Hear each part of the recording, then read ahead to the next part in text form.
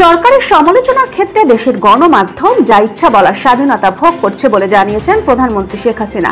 Voice of আমেরিকাকে দেয়া সাক্ষাৎকারে কথা বলেন তিনি। আওয়ামী লীগের সাধারণ সম্পাদক ওবাদুল কাদের বলেছেন হাঁটু ভাঙা বিএনপি এখন লাঠির উপর ভর করছে। প্রধানমন্ত্রীর ছিয়াত্তরতম জন্মদিন উপলক্ষে আওয়ামী লীগের আলোচনা সভায় কথা বলেন তিনি। গুলিতে নয়, ইটের আঘাতে যুবদল কর্মী শাওনের মৃত্যু হয়েছে বলে দাবি করেছে মুন্সিগঞ্জ জেলা পুলিশ। সংবাদ সম্মেলন করে এ দাবি করেন জেলা পুলিশ সুপার মোহাম্মদ মাহফুজুর রহমান আল মামুন মুক্তিযুদ্ধকালে মানবতা বিরোধী অপরাধের দায়ে মৃত্যুদণ্ডপ্রাপ্ত পলাতক আসামি খলিলুর রহমানকে গ্রেপ্তার করেছে র্যাব। মঙ্গলবার রাতে ঢাকা সাভার থেকে তাকে গ্রেপ্তার করা হয়। চীনের উত্তর পূর্বাঞ্চলের একটি রেস্টুরেন্টে আগুন লেগে সতেরো জন নিহত হয়েছেন। এই ঘটনায় আহত হয়েছেন আরও তিনজন।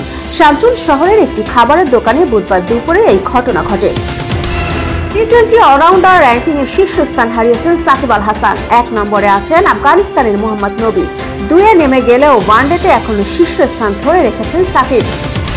ছেলের জন্মদিন পালনের ছবি সামাজিক মাধ্যম ফেসবুকে পোস্ট করে অপুর সুখী সংসারের ক্যাপশন নতুন আলোচনার জন্ম দিয়েছে। মান অভিমান ভুলে স্বামী সন্তান নিয়ে সংসার শুরু করতে চাইছেন অপু। এমন দাবি করছেন অপু ভক্তদের অনেকেই।